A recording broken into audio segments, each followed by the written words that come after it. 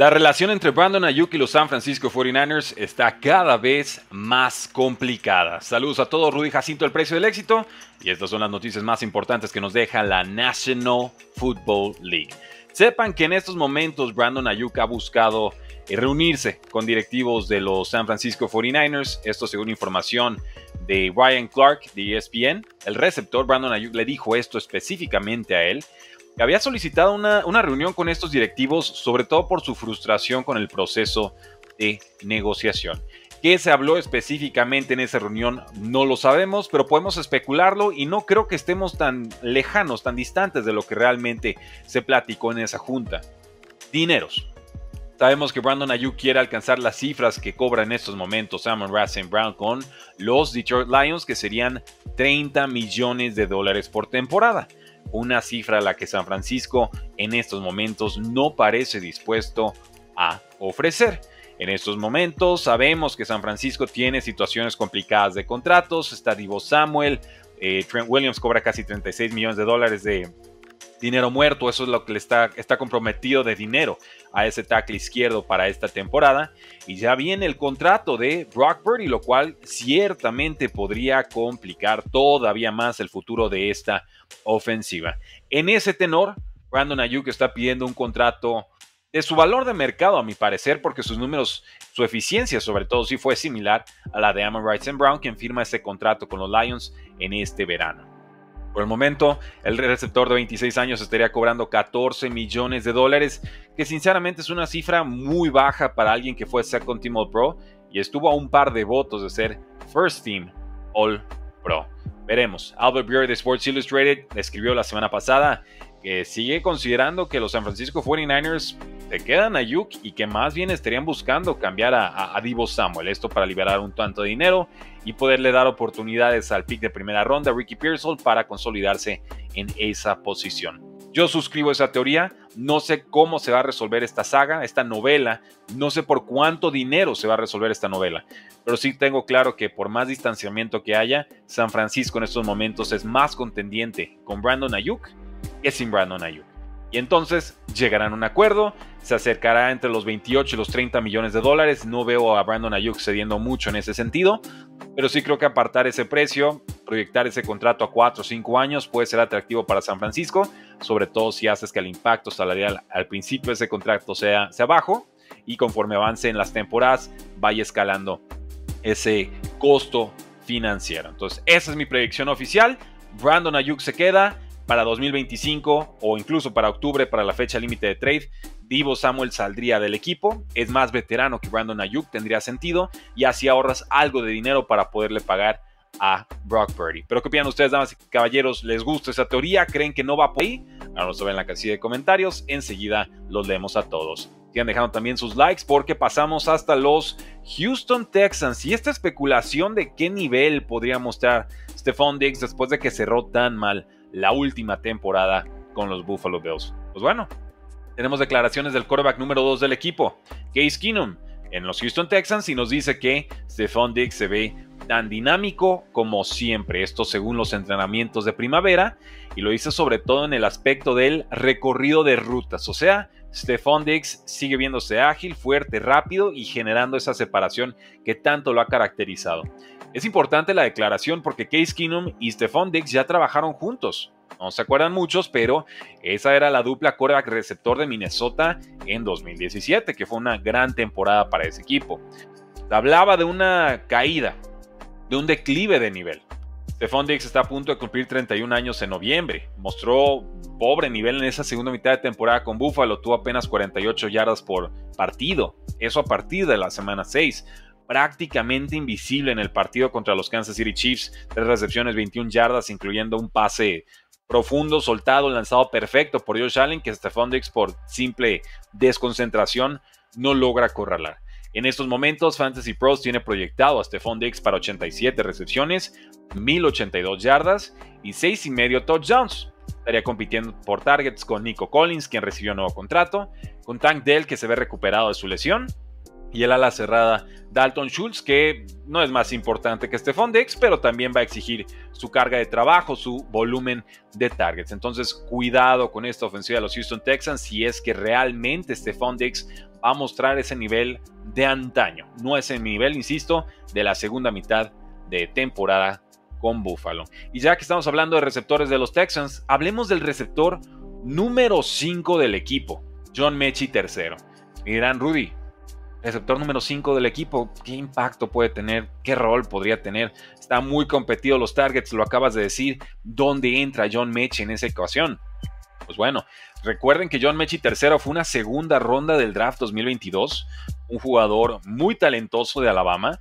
Se rompe el ligamento cruzado anterior en diciembre de 2021 y acto seguido le diagnostican cáncer en 2022. Obviamente la temporada pasada, regresando de ambos incidentes, 16 recepciones, 158 yardas, se le notó oxidado y sinceramente no lo culpo. Pero nos dice bien Aim de ESPN.com que está recuperando su explosividad John Mechie y estas son formidables noticias para los Houston Texans. Entonces sí está muy competida la rotación titular, no va a haber muchos targets de entrada. Nico Collins, Tank Dell, Stephon Diggs, Dalton Schultz, y sobre todo me parece que John Mechie estaría compitiendo con Noah Brown, eh, un jugador que fue recuperado este año por un contrato justamente de eso, de, una temporada. Pero si John Mechie va a mostrar el nivel que tuvo en Alabama, si está realmente explosivo, eh, olvídense, damas y caballeros, ya no solamente estamos hablando de un top 3 de receptores, creo que a nivel profundidad, los Texans también serían la mejor unidad de toda la N. FL. Pasamos a rival divisional. Los Jacksonville Jaguars tienen a su ala cerrada Evan Engram exigiendo más touchdowns y más targets profundos, más pases profundos es lo que pide eh, Evan Engram quien tuvo una gran temporada 2023. Dice que su meta para esta campaña es generar más jugadas explosivas y tener más anotaciones. El jugador de 29 años ha sido utilizado sobre todo en pasecitos cortos, en zona intermedia y ha tenido mucho volumen de trabajo. 143 targets, 114 recepciones y estas fueron cifras líderes número uno para la posición. Pero es cierto, número 26 en yardas por recepción con 8.4 y número 2 en touchdowns en la posición con apenas 4. Entonces usan mucho Evan Engram, pero lo usan en, en pasecitos cortos. Engram dice, soy un gran atleta, estoy listo, úsenme en jugadas de alto impacto. Creo que sus targets bajarán, pero puedo ver que su eficiencia llegue a subir tendrá que competir con jugadores como Gabe Davis, que llega de Buffalo, el novato Brian Thomas Jr., que llega de LSU, y ellos, si bien le van a quitar targets a Engram, también podrían quitarle marca defensiva, por lo cual espero menos targets, pero más eficiencia para Evan Engram, una gran opción en ligas de fantasy football. Nos vamos hasta los Kansas City Chiefs, donde el novato tackle izquierdo, Kingsley Somatai, está justamente haciendo eso, teniendo snaps de titular como tackle izquierdo. Nate Taylor de The Athletic reporta que su Amaitai, su segunda ronda este año, en los Kansas City Chiefs, está teniendo repeticiones como tackle titular, más incluso que Wanya Morris, quien se especulaba podría ser el titular para abrir la temporada. Ambos, por supuesto, compitiendo para proteger el lado ciego de Patrick Mahomes. Eso Maitai eh, tuvo 6'6 de altura, 318 libras de peso, mejor en protección de pase que bloqueando por tierra viene la Universidad de BYU, de Brigham Young University, un recluta de 5 estrellas saliendo de la preparatoria y además primo del All Pro, Penay Sewell. Entonces hay, hay pedigrí, hay nivel ahí. Y Kansas City necesita sí o sí mejor rendimiento en su posición de tackle izquierdo. El año pasado estuvo Donovan Smith y la verdad un trabajo de, de mediocre a malo realmente es lo que mostró y por eso ya no está con el equipo. Con los Indianapolis Colts tenemos corredor suplente y se llama Trey Sermon. Steven Holder de ESPN reporta que Sermon se ha ganado la oportunidad de ser el suplente directo de Jonathan Taylor.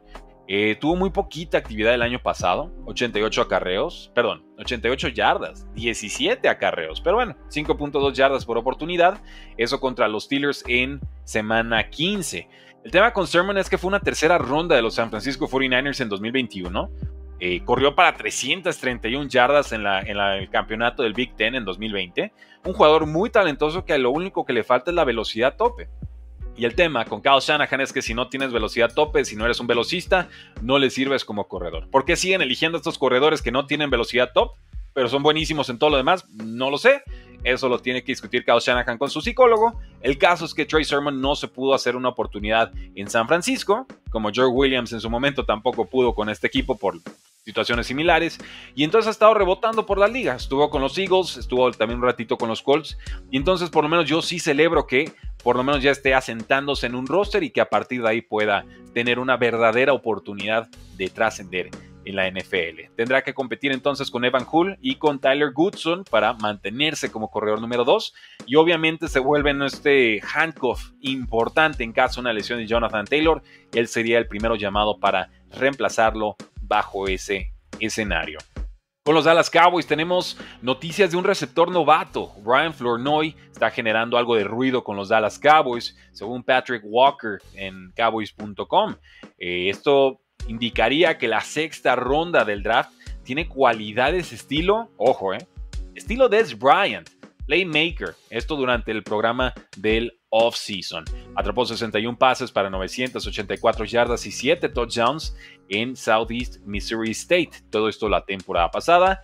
Participó bastante bien en eventos de previos al draft, incluyendo el Senior Bowl, que es una medición importante. Cada vez le doy más peso a quienes destacan ahí. Y también, por supuesto, en sus pruebas atléticas de el Scouting Combine. Está, de hecho, calificado como el atleta número 38 de más de 3.000 que han sido drafteados del 87 a 2024. Entonces, ojo ahí, porque realmente como atleta es muy difícil igualarlo. El tema es que va a tener que competir con nombres como Jalen Tolbert, Javonte Turpin y Jalen Brooks para consolidarse como número 3 detrás de CeeDee Lamb y por supuesto de Brandon Books. Y en otras noticias NFL, damas y caballeros, sepan que los Packers han contratado a Ed Policy por después de votación unánime como nuevo presidente y CEO de la franquicia. Policy es eh, hijo del ex, del ex miembro de los 49ers y los Browns, el presidente Carmen Policy. Y entonces pues tiene esta gran oportunidad ante sí. Veremos qué cambia en los Packers, es que algo cambia a partir de su llegada. Y bueno, la salida de Mark Murphy se da porque ya cumple los 70 años y por reglamento de la franquicia, esa es la edad de retiro. ¿Qué esperaría yo?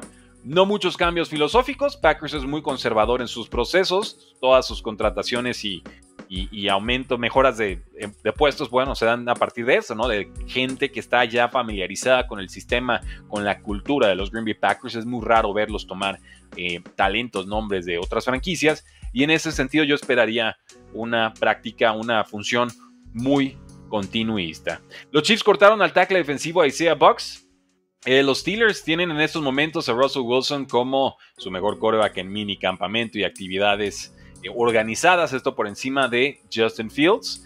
Eh, los Vikings no le han dado muchos snaps de titularidad a JJ McCarthy, se esperaría que no fuera titular en semana 1.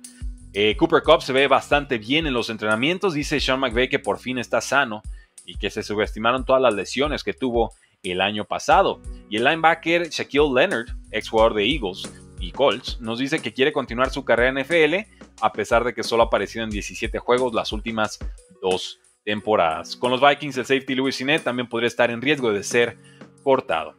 Y antes de despedir el podcast y pasar a otras noticias de otros deportes, damas y caballeros, el precio del éxito Epic Playlist lo encuentran en Tidal y Spotify. Se pueden suscribir al playlist y así les van a estar llegando las recomendaciones en, tiempo real.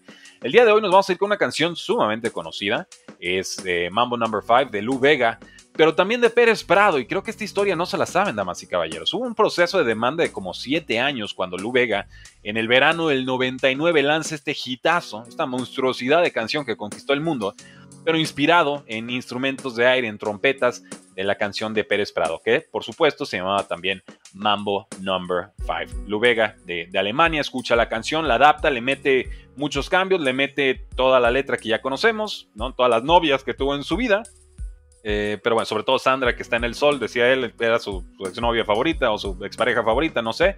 El caso es que hubo un proceso legal muy fuerte y finalmente se determinó que si bien eh, la canción le pertenece a Pérez Prado y que tenía derecho a, tener su autoría sobre la canción, Lu Vega le hizo suficientes modificaciones para también aparecer como coautor. Entonces prácticamente hubo una repartición de los ingresos y ahí el factor decisivo fue que Lu Vega y su equipo fueron a buscar a la familia, al, al estate de Prado y decirle, oye, nos dan permiso usar esta canción, queremos aprovecharla así.